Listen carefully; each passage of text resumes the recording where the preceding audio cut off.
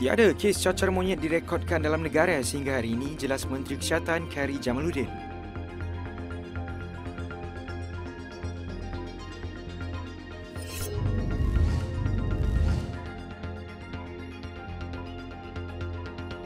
Kerajaan seharusnya tidak membenarkan Tenaga Nasional Berhad TNB menaikkan tarif elektrik mulai bulan depan dan seterusnya, kata pengurusi DAP Lim Guan Eng.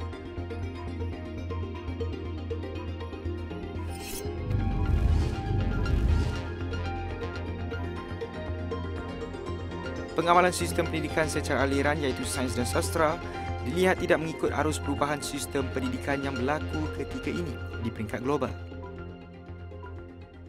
Laporan penuh di saluran 01 dan astroawni.com.